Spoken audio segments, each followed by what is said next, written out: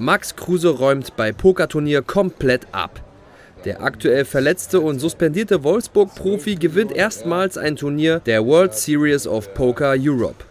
Bei dem Turnier in Tschechien zeigt Kruse, dass er nicht nur das Fußballspielen, sondern auch das Spiel mit den Karten beherrscht. Im Heads-Up gewinnt er mit einem Paar Zweien durch eine glückliche Fügung auf dem River, also der letzten Karte, die gespielt wird. Mit einer weiteren Karo 2 holt er sich den Sieg. Während des Turniers postet Kruse immer wieder Instagram-Stories. Vor dem Finale am Mittwoch sagt er: Ja, mal schauen. Einer von uns gewinnt das Bracelet. Äh, hoffen wir mal, dass die Karten heute mit mir sind. Und so war es dann auch.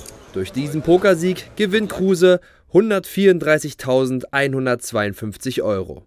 Sein Einsatz lag bei 1.650 Euro.